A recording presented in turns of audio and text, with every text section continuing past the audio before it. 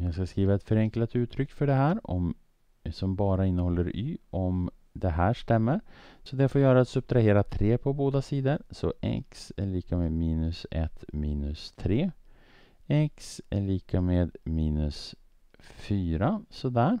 Och så petar jag in x lika med minus 4 här istället för x där uppe. Så får jag 2 multiplicerat med minus 4 adderat med y. Och 2 gånger minus 4 det är minus 8 plus y. Så där har jag mitt svar. Men nu är det så här att ofta så sätter man det här då i ordning så den variabel som har det största gradtalet står först och här har vi bara en, ett y här så att man brukar sätta den före minus 8 så man sätter y minus 8. Så där har vi vårt svar som jag skulle redovisa om till exempel det här hade varit ett prov.